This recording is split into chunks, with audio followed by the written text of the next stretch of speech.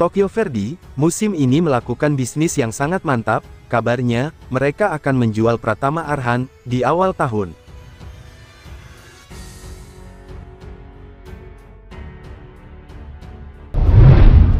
Pasalnya, harga Pratama Arhan sendiri, sangat melambung, sehingga klub Tokyo Verdy sendiri, bisa meraup keuntungan miliaran rupiah dari hasil penjualan itu.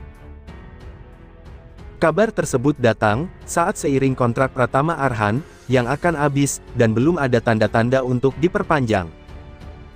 Sebagai klub yang profesional, Tokyo Verdy, diyakini sedang mempertimbangkan Pratama Arhan, untuk melanjutkan kinerja di musim depan.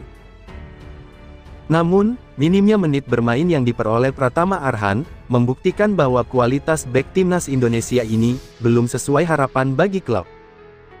Bahkan, di musim ini, Pratama Arhan baru bermain satu kali untuk timnya, meski hal itu cukup membuat dirinya, lebih dikenal di negara Jepang.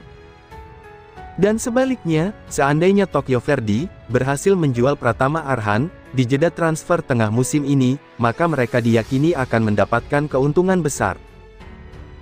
Meski jarang bermain, kenyataannya harga Pratama Arhan saat ini, justru sangat melambung tinggi, hal itu disebabkan, permainan bagus Pratama Arhan, ditunjukkan, di FIFA Matchday, dan Timnas Indonesia.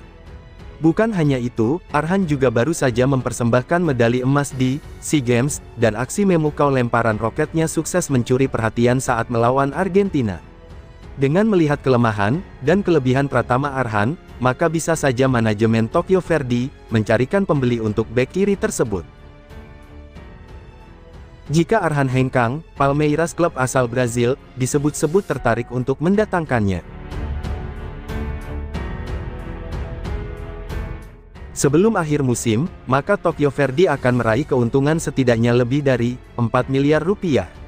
Alasannya, saat mendatangkan Pratama Arhan pada dua musim lalu, Tokyo Verdy tak keluar biaya sepeser pun, alias free transfer. Harga pasaran Pratama Arhan, di bursa transfer saat ini masih tinggi, maka Tokyo Verdy akan panen besar-besaran.